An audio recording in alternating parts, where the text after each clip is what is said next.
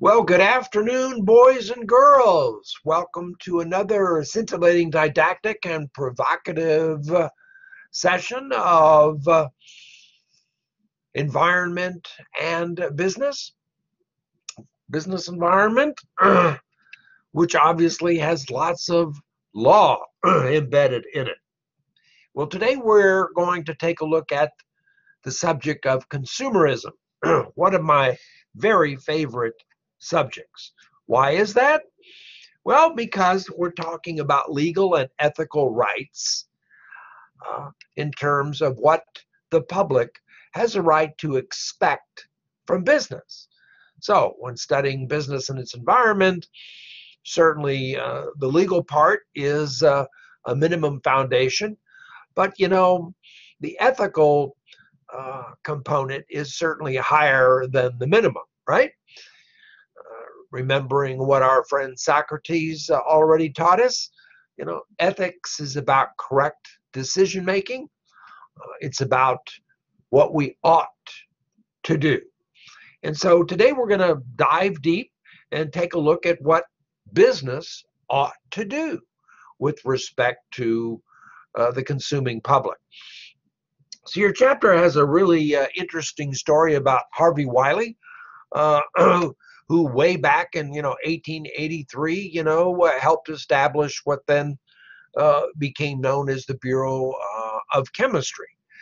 And its purpose in life was to uh, detect adulteration uh, in foods. Uh, what is adulteration? Well would you believe pollution impurities and so, what he found way back in 1883, surprisingly, was that there was widespread fraud and impurity in products that business sold to consumers. Hmm. So, what do you think? Do consumers have a right to expect truth in advertising and pure food? Or are we still living in the time of caveat emptor? Latin phrase for let the buyer beware. Well, Mr. Wiley uh, made a good point way back when, arguing that, look, you know, our public uh, has a legal right to be protected against business exploitation and adulteration. That is the fouling or polluting uh, of food. The public has a right. Now, certainly back then in 1883, there was disagreement on this point. Well, you know, caveat emptor, it's up to the public to inspect the meat that they're purchasing or the dairy products to see that they're uh, not spoiled or polluted. That really isn't the seller's responsibility, that's the buyer's responsibility. Really? Well, back in 1883, that was, you know, the mindset. And so his research and uh, hard work uh, laid the foundation for the enactment of the Pure Food and Drug Act of 1904, which became the very first Consumer Protection Act. So Wiley and his uh, new gang um, became the Food and Drug Administration, responsible for enforcing this very new consumer protection law. Uh, and yeah, he was uh, he was uh, a force to be reckoned with. He was strict, vigorous, uncompromising in enforcement uh, of this new law with respect to uh, business leaders. And certainly they fought back, as we're seeing today, uh, with respect to that. We'll talk more about that. So, going back to our friend, French philosopher Voltaire. So, before you address me, define your terms. So, what does consumerism mean? Well, we've already mentioned that it involves public expectations. And if we break that down, we can find a couple of uh, meanings. First is that the consumerism is a movement. I mean, it is a movement to promote rights and the powers of consumers in relation to sellers of products and services. Uh, I like this saying of Abraham Lincoln's that the government should only do for the people what the people cannot do for themselves. So apply that to current times when there's such an emphasis on deregulation? Are we going back to the 1880s uh, where we're in a caveat emptor situation? Or have we evolved to a point that the public, the consuming public, has a right to certain expectations with respect to products and services? And we use government regulation to enforce those because none of us can all by ourselves uh, force a uh, wrongdoer uh, in the corporate world to uh, rectify any uh, uh, bad behavior that they're exercising towards us. And the second, you know, part of consumerism involves what we simply refer to as a powerful ideology, in which you know, the pursuit of material goods beyond subsistence shapes social conduct. Where this is where ethics comes in, right? So historically, we know that when we had the Industrial Revolution in the 1800s, we certainly had expansion of trade with colonial empires like our good friends, uh, the British. And, you know, new products uh, came into being and social change uh, came about. Certainly, we had uh, small time uh, retailers um, who innovated in terms of advertising and marketing, started window displays, and created uh, consumer demand. Push pull, right? While religion was uh, an important force in those days, um, religious doctrines declined with the pursuit of material pleasures. They, over a period of time, uh, lost uh, their public uh, importance as consumerism grew, grew, and grew. And so we had the growth of individualism, certainly the uh, growth in population of cities, and the breakdown, if you will, over traditional status boundaries. Times changed, right? Times changed. And so we had this consumer ideology that uh, surfaced in the late 1800s uh, that started to get the public uh, attention. And of course, to every action, there is a reaction, right? Um, an aesthetic Puritan, American Puritan theology uh, began to lose its prominence in our society. Um, the aestheticism, that is appreciation of the beautiful for its own sake, uh, gave way to a desire for accumulation of goods. Certainly, individualism grew stronger. I want something for myself. I don't want hand me down shirts and pants from my brothers certainly international trade expanded and our own economy, you know, exploded. Certainly the railroads added to the creation of national markets. We had merger waves that uh, saw banks uh, merge one after another, creating more and more business power. And of course, we had the advent of new consumer products. Henry Ford's uh, automobile. I loved, uh, I still love his old saying, you know, you can have your Ford Model T in any color as long as it's black. Watches came into being. And of course, refrigerators replaced ice boxes. I can still remember the ice boxes where the ice man had to come every week with a great big huge chunk of ice that fit in the bay in the bottom of uh, an ice box and that kept uh, the food in the ice box uh, cool until the ice melted and the iceman returned it. Guess what? he no longer cometh. So certainly we saw movement from small towns uh, to the cities, certainly for increased labor opportunities.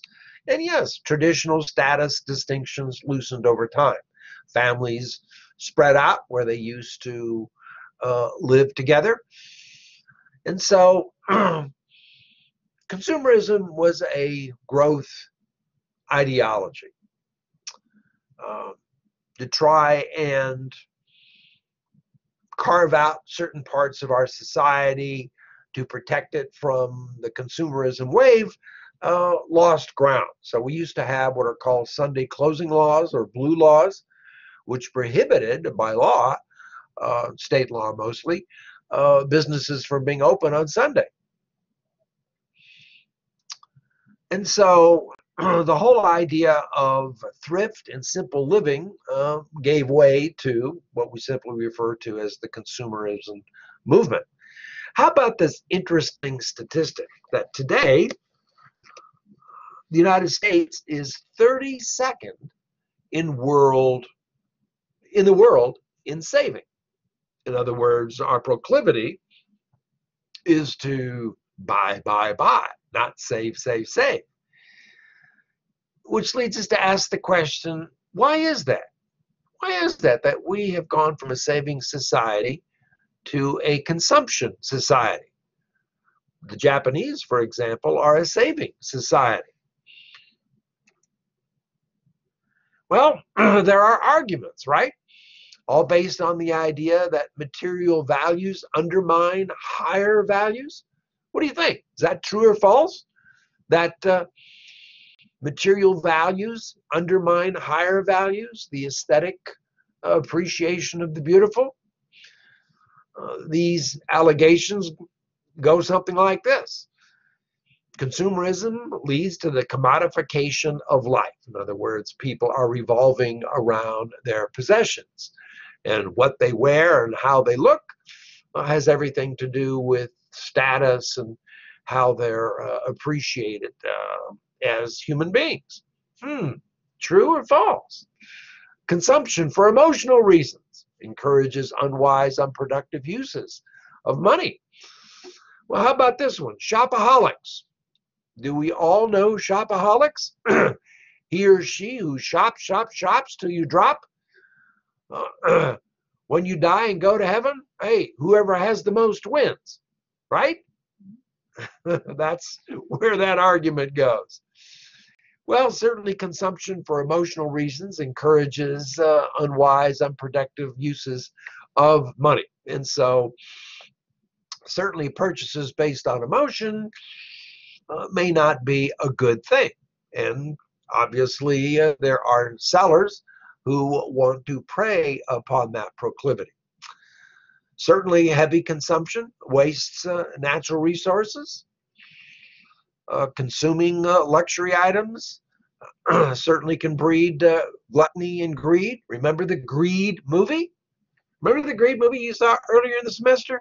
So, what was its message to you back then? that greed is bad. I think the argument of the uh, of John Stossel was that no, it's not bad. That you know anything in excess is bad. Eating too much, drinking too much, working too much, too much of anything can be a bad thing. But in moderation, greed is not a bad thing. It is in fact a good thing because it incentivizes people to do things they might not do. How about the argument that consumerism is a pathology of corporate capitalism that leads corporations to manipulate consumers? Perhaps partially true, but totally true? I'm not so sure.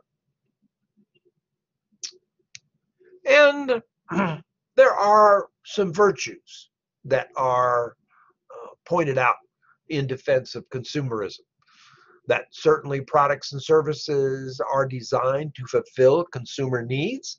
Oh, good heavens. Look at iPhones today as a good example of that.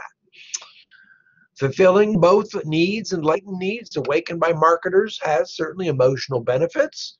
People feel a little more secure uh, when they're traveling with an iPhone so that they can easily make contact when their car breaks down, which they all do there's certainly competition among wholesalers and retailers to you know meet the consumers' needs. And so, yes, we have a prolif- constantly proliferating product and service choices that stimulate consumption. And yes, the iPhone's a good example. So, how many editions of the iPhone have we had? And the same thing goes with flat screen TVs, and we're certainly seeing it with automobiles and autopilot uh, cars and whatnot. Happiness derived from material acquisition is as fulfilling as happiness derived from non material pursuits and just as fulfilling. Goods versus virtue. True or false, do you think? I think there's some truth to that. Uh, but do people really have their satisfaction satiated by acquiring the good, or do they now transfer uh, that desire that's always increasing for more and more goods to some other item or good? Hence the issue of money, right? Money by uh, by itself is neutral. It's not a, a good or a negative. It is neutral. It's what we do with money that makes a difference. And money certainly represents power. So we've certainly had a progressive uh, social movement to protect uh, consumers from fraud, deception, and greed using regulation. And so right now we're having a national conversation. Uh, certainly Congress is. Certainly the EPA and a number of governmental agencies are taking a good look at their government regulations to determine should they be revised like Dodd-Frank or SOX, should they be eliminated or should they be left alone? These are, I think, good conversations. We have what's called a sunset uh, provision in a lot of uh, pieces of legislation that require the legislation to be reviewed for remaining in existence um, every two or three or four years. And I'm not sure that's a bad thing, requiring agencies to take a look at their regulations to, to see one, are they updated? Uh, and two, if not, are they in need of revision? And three, if so, you know, what revisions should there be? So I think there's a lot of uh, support for revising parts of Dodd Frank, uh, which obviously came to us in 2008 as a consequence of the too big to fail uh, experience. But the idea of completely rescinding it, canceling it, uh, I think even the banks uh, are in favor of maintaining uh, the majority of Dodd Frank. So, uh, certainly historically, we saw new activism uh, surface in the 60s and 70s, and it just wasn't, you know, business activism. We certainly had political and religious and civil rights activism. and of course, that brought about you know, new governmental agencies, uh, Federal Drug Administration, the Environmental Protection Agency, the Securities and Exchange Commission, the Federal Aeronautics Administration. Oh, help me, Mr. Lincoln. Oh, Mr. Lincoln, the government should only do for the people what the people cannot do for themselves. What do you think? So we've got consumer critics, uh, including my friend Ralph Nader, who uh, is a good consumer advocate. Uh, who says, look, you know, when the public gets abused, as certainly the auto industry did with the uh, Corvair in the 1960s, Ralph became famous when he wrote his uh, epic uh, book, Unsafe at Any Speed. That look, when uh, there is abuse by business of its power, there very often is going to be a reaction, as we saw with enactment of the Sarbanes-Oxley Act in 2002 and enactment of Dodd-Frank in 2008.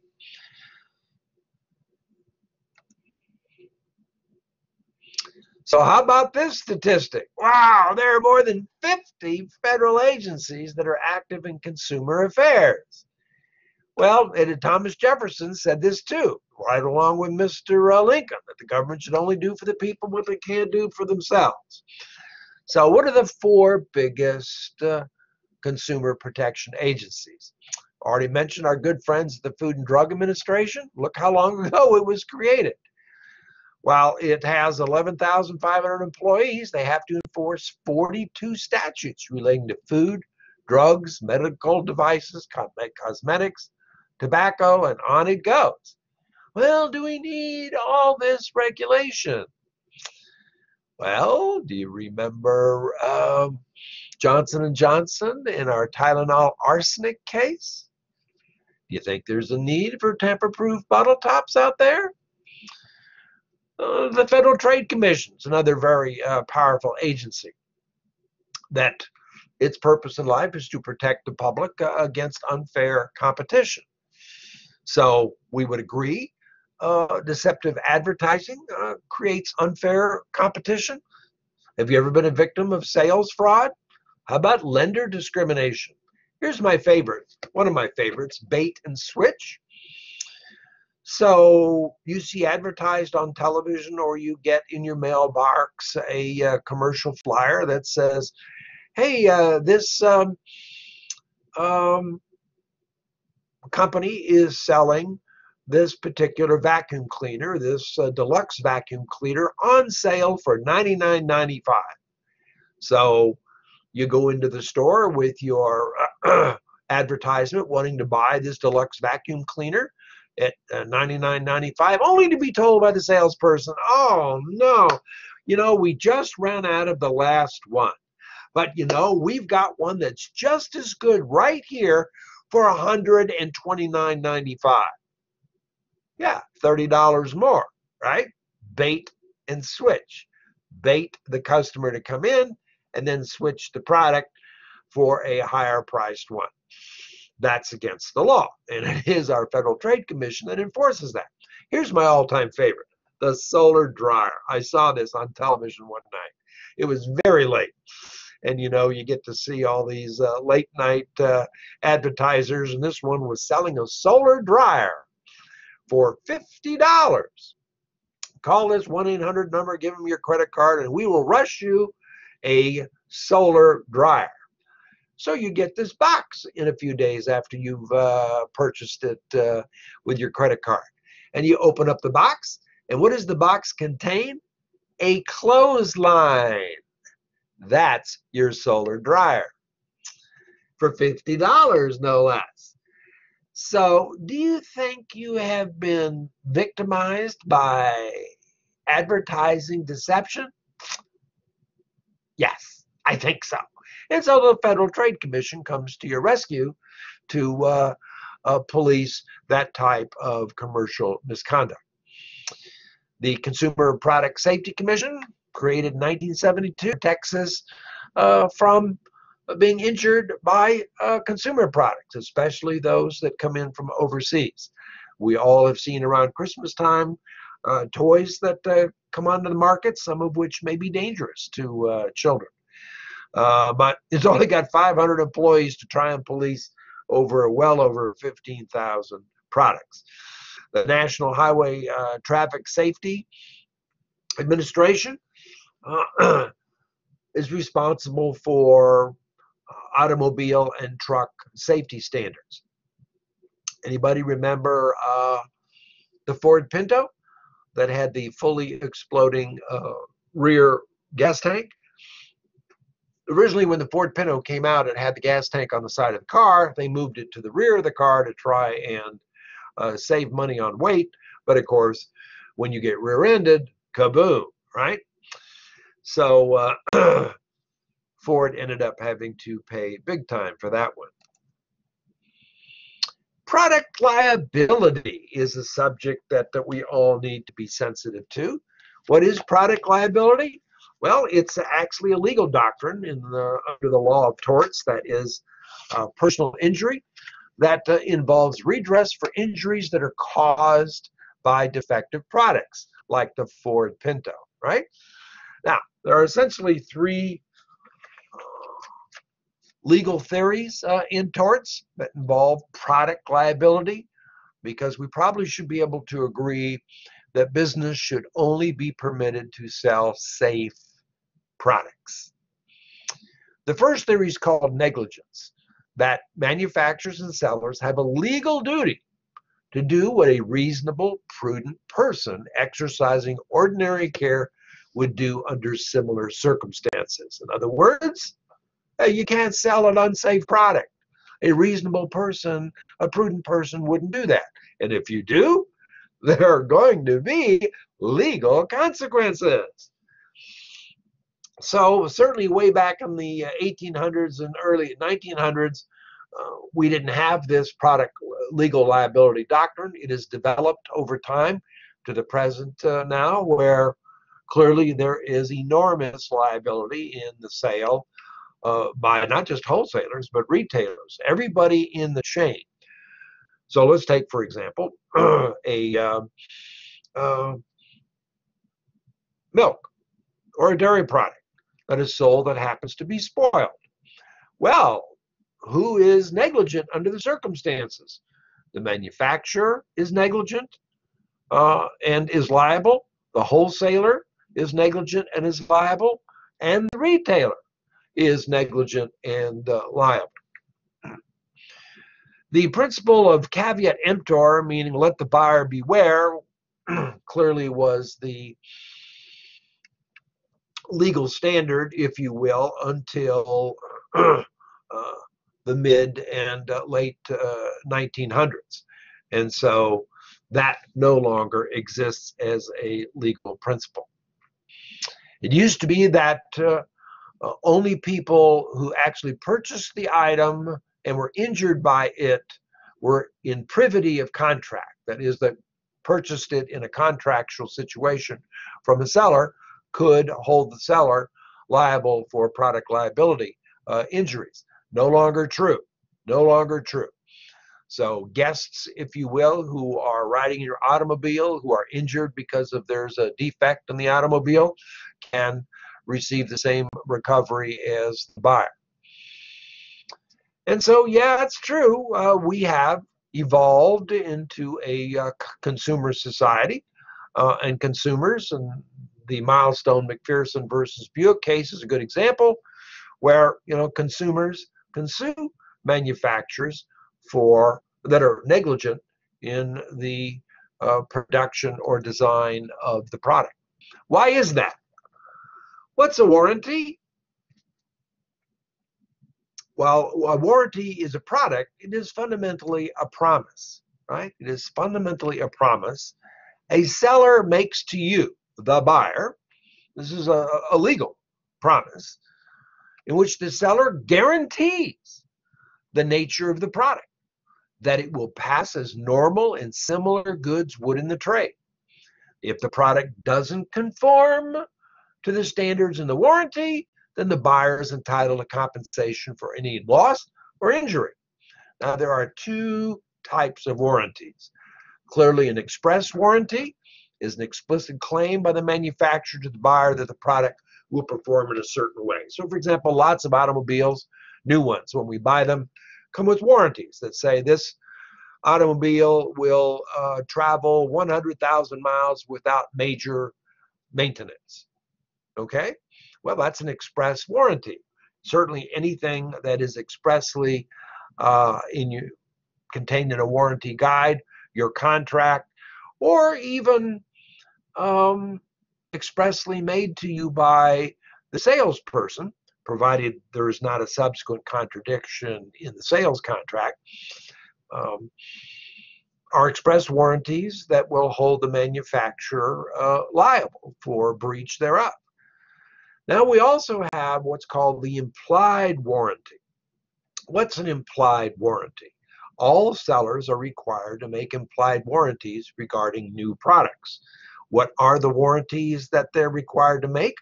That the product will fulfill its ordinary purpose and the particular purpose of the buyer. So we would say, for example, a carton of milk should not be spoiled, right? And should pass as similar cartons of milk would in the tray. If it doesn't, because it's spoiled, aha, we have a breach of the implied warranty.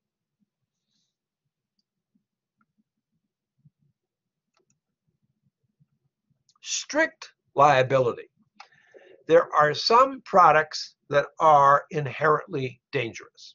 So let's take, for example, automobiles we can all agree, boys and girls, that automobiles are inherently dangerous. Certainly, weapons, uh, hunting uh, rifles, and whatnot, we would agree are inherently uh, dangerous, right? Toxic chemicals are inherently dangerous, right? So there are lots of products that are that are inherently dangerous that the law requires uh, strict liability. What is strict liability? The doctrine of strict liability here is that under the doctrine, manufacturers and sellers can be held liable without any showing of negligence, that is, the failure to use due care. So let's take, for example, a toxic chemical plant. There is a lightning strike that sets the toxic chemical plant on fire and it burns down the nearby city. Question Is the toxic chemical plant liable for the damages to the nearby city? Answer Under the doctrine of strict liability, yes. If you own it, you are responsible for it, uh, for good or for bad. And hence, let's take, for example, the Ford Pinto. I mentioned that earlier. Certainly, the Tesla autopilot cars have caused uh, Tesla to put in their sales contracts for those that are purchasing that the buyer uh, agrees that the uh, car, when it is on autopilot, the uh, buyer must remain in the driver's seat and able to retake control of the car uh, when necessary. Uh, this, to some extent, relieves Tesla of legal liability under the strict liability doctrine, uh, unless, of course, there's some type of defect in the program. But again, they try and protect themselves against strict liability by saying, look, the buyer has a uh, safety obligation to remain in the driver's seat, and so they can retake control of the car should anything happen. So clearly, going into the back seat to play with your children would violate that uh, principle.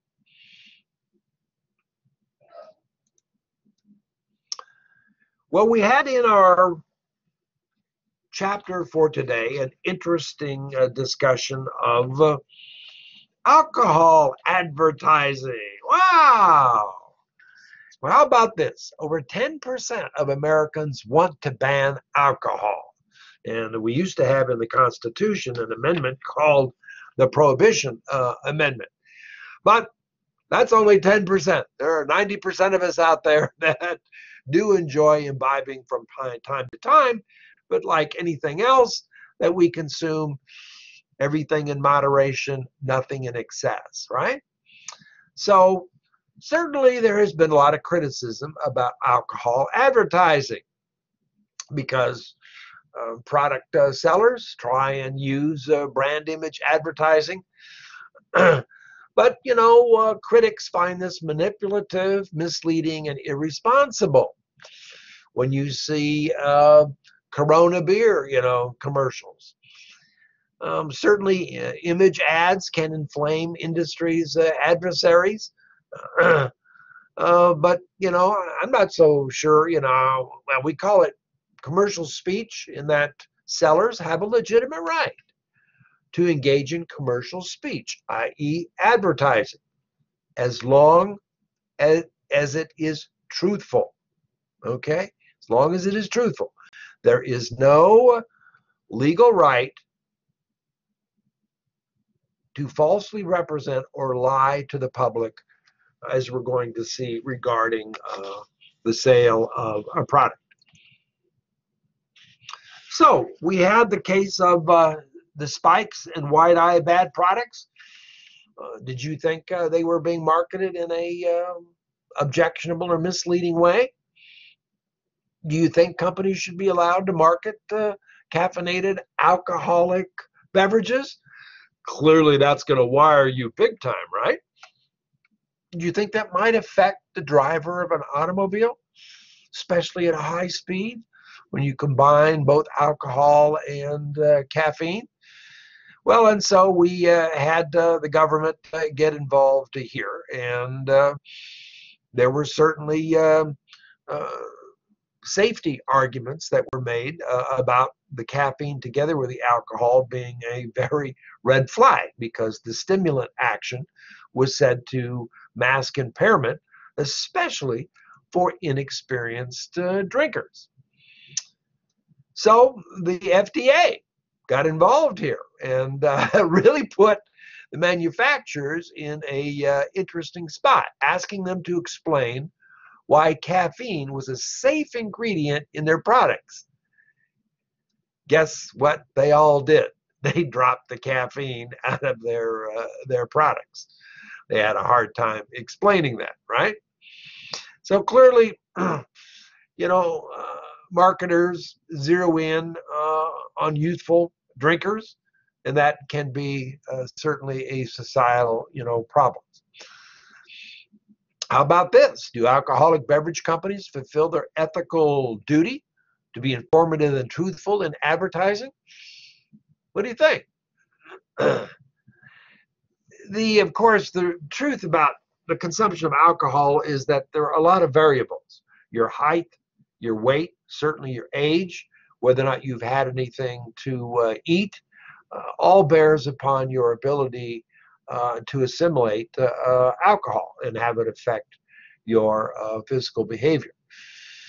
So, the industry, of course, wants to advertise the sale of alcoholic products with minimal regulation by the government. But of course, you know, while there is commercial speech rights, um, in the First Amendment for business. Um, in fact, the industry does receive protection for its advertising claims. And so we're back to is there anything false or deceptive in the alcohol industry's you know claims? Certainly, in our ethical doctrines that we have previously examined, rights and duties doing what we ought to be done are linked, right?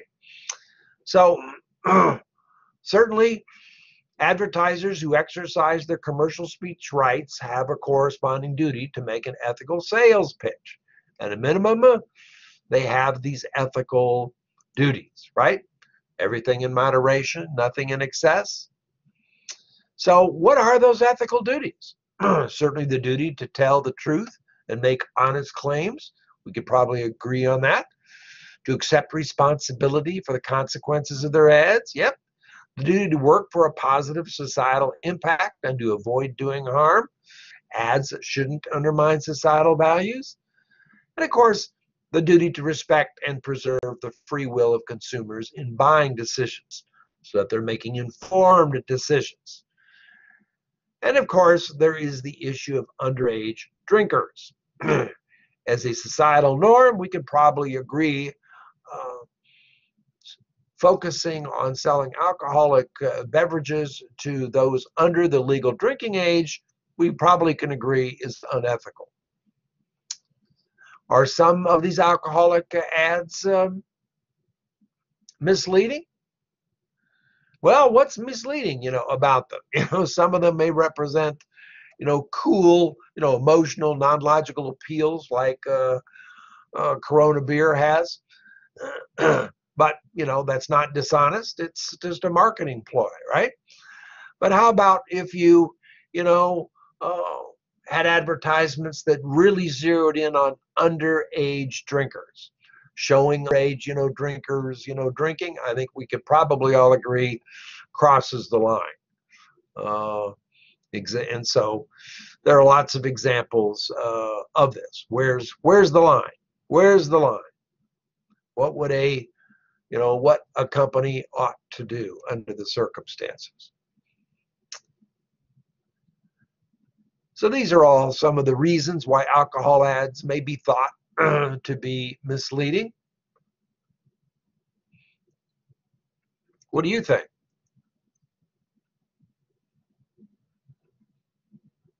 I love this one. You know, ads with subliminal appeals, such as phallic symbols or mysterious pictures drawn in ice cubes like Viagra.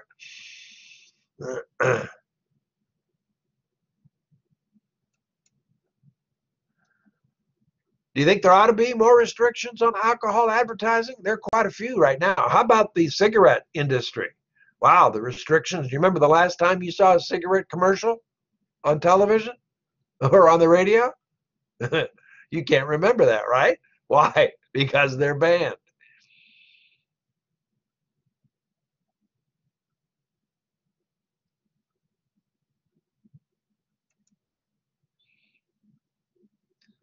So, if the government has restrictions, and we would agree uh, tobacco and alcohol restrictions regarding uh, minors, uh, involves and advances a government interest that certainly for health and safety reasons, uh, the government is going to place restrictive ads, restrictions on the ads in certain media places and times. And with respect to cigarettes, wow, it's hard to find any advertising of uh, tobacco products today. So our Supreme Court is skeptical about ad restrictions, and so the government, uh, the burden is on the government to demonstrate that its proposed regulation or restriction uh, is going to solve some social problem such as excessive drinking or um, exhaust other remedies before you know it tries uh, censorship but has been very effective with respect to tobacco products for sure. Well these are the issues that i wanted to share with you today regarding consumerism. Uh, it is in fact uh, i think very much a uh, ideology uh, a government as well as public ideology that sellers of products and we're talking not just manufacturers but wholesalers and retailers uh, as well uh, ought to be responsible for producing only safe products. Nobody has a legal right to injure the public and if so there are consequences so i like to close with my six p's Previous planning prevents pitifully poor performance. Six P's. So when you're in manufacturing, wholesaling, or retailing, the six P's, you got to be always thinking ahead about the six P's and uh, only selling safe products to the public. With that, boys and girls, I always invite your emails. Uh, shoot, move, communicate Let's stay in the loop. Stay well. See you next week. Bye bye now.